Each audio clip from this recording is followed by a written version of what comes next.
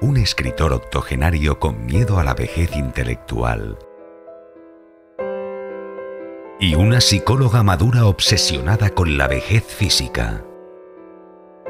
Cuando sus vidas se cruzan, descubren temores, recuerdos y sentimientos olvidados. La segunda novela de Loli Escribano.